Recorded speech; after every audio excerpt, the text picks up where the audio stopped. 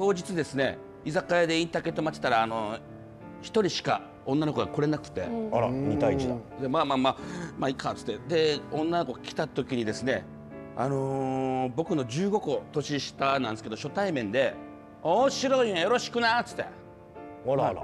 なんかちょっとこうなんか嫌な感じなんですね。嫌な感じやね「面白いあの服装ちょっとダサいな」とかおう「顔シワだらけやな」とかちょっとバンバンえらいキックるなはい、なんかもう僕もあく帰りたいな思って。でインターケット2人でね。あもう飲んだ方がいいやと。うん。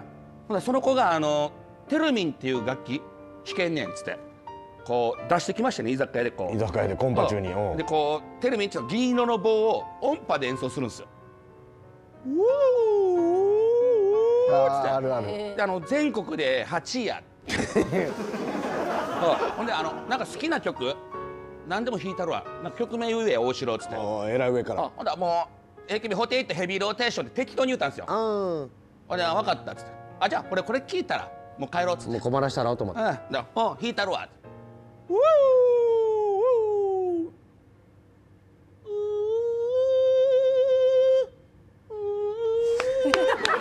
めっちゃうまいやん間はしょりますねあ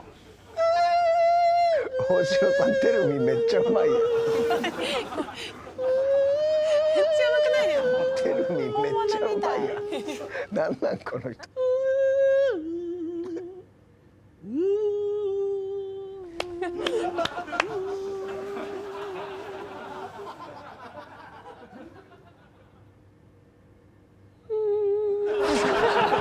最後のな。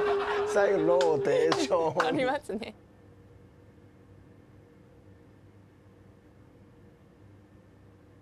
僕泣いてもうたんです